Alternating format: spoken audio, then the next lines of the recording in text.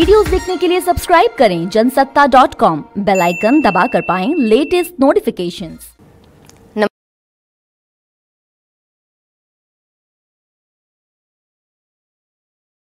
मैंने कहा कि कोई रोक टक नहीं, जनता को आने दीजिए। बारह साल पहले वो तय करते कि हमको कुंभ नहाना है।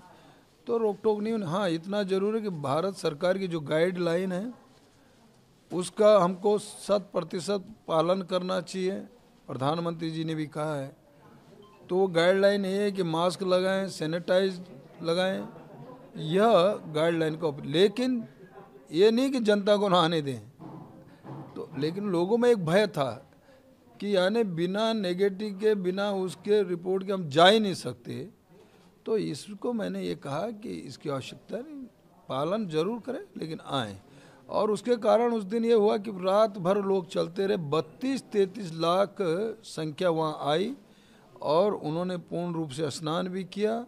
कोई किसी प्रकार का घटना नहीं। अपने घर में वापस लोग बड़े शांति उससे लौटे।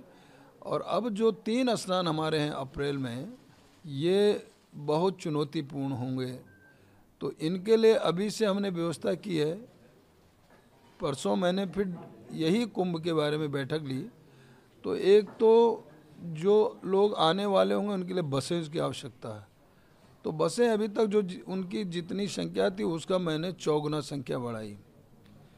क्योंकि बड़ी संख्या में अब लोग आने वाले हैं। तो उनको बॉर्डर से लेकर के वहाँ तक छोड़ना और छोड़ने के, लेने के बाद फिर छोड़ना ये रहेगा और एक जिससे व्यवस्था बनी रहे।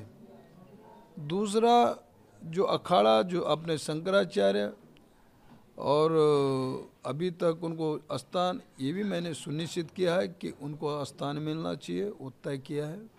साथ ही कुछ सड़कें, कुछ गलियारे अभी भी ठीक नहीं, उनको ठीक करने का एक हफ़्ते का मैंने टाइम दिया है, वो ठीक होने चाहिए।